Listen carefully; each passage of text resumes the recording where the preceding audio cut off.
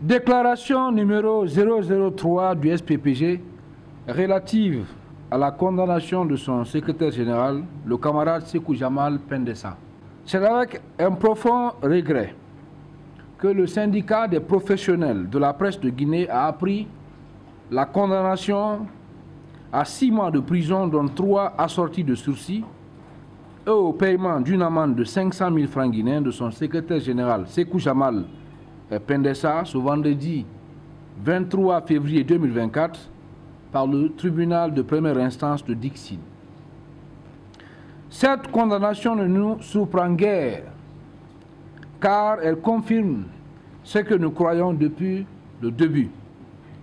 La volonté clairement affichée des autorités actuelles du pays de vouloir à tout prix confisquer la liberté d'expression et le droit à l'information des citoyens.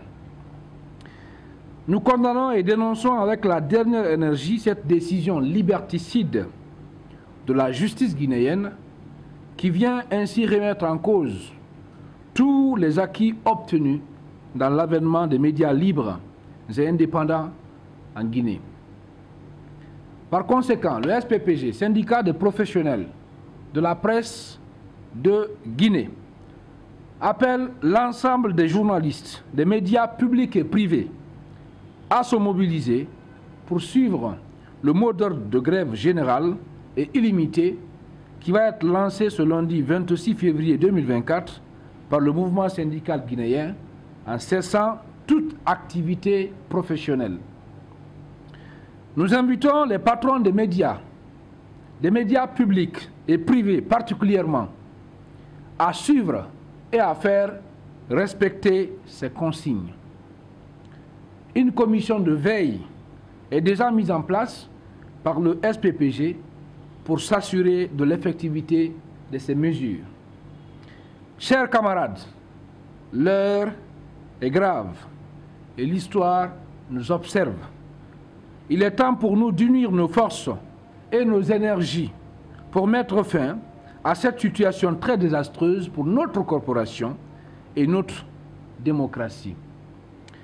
Le SPPG, syndicat des professionnels de la presse de Guinée, invite également ses antennes de l'intérieur du pays à organiser ce dimanche des assemblées générales pour faire respecter ces directives.